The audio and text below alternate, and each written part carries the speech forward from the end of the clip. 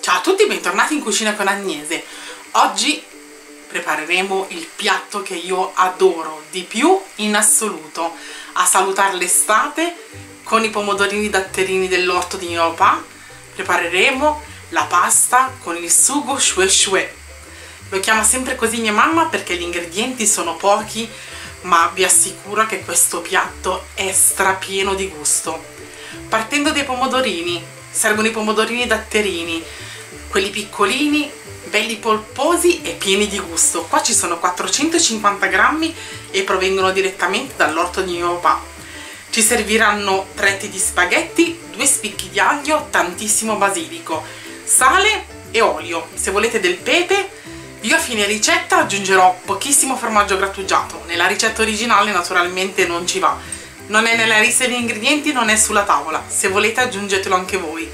Mettiamoci subito a cucinare gli spaghetti cuoceranno in 13 minuti e neanche in un quarto d'ora saremo pronti per andare a tavola. Andiamo ai fornelli. Ho aggiunto nell'olio a freddo l'aglio che si è infuso con l'olio che è arrivato a temperatura e ora andiamo ad aggiungere i pomodorini.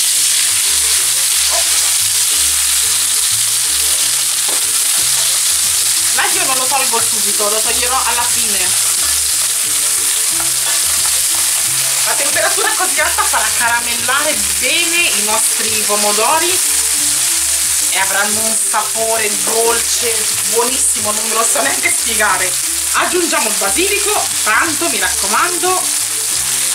Qualcuno la lasciamo alla fine a decorazione qualche fogliolina diamo una mescolata e facciamoli cuocere giusto il tempo che cuoce la nostra pasta. Non serve neanche coprire con il coperchio. L'acqua nel frattempo sta bollendo. Aggiungiamo un po' di sale. Aggiungiamo i nostri spaghetti e lasciamoli cuocere per il tempo indicato sulla confezione. Questi cuociono in 13 minuti se volete ai pomodorini potete aggiungere anche del pepe o se preferite, se vi piace, del peperoncino. Ci vediamo dopo. Ho scolato i nostri spaghetti andiamo a versarli direttamente dentro ai nostri pomodorini. Ho, ho mm, tenuto da parte anche un po' di acqua di cottura della pasta. L'aggiungo dentro vado a dare una bella rimestata e poi non ci resta che impiattare. Fate insaporire qualche minuto. Io l'ho tirata l'ho scolata scusate due minuti eh, prima della, di fine cottura. Lascio insaporire e poi andiamo a tavola a mangiare.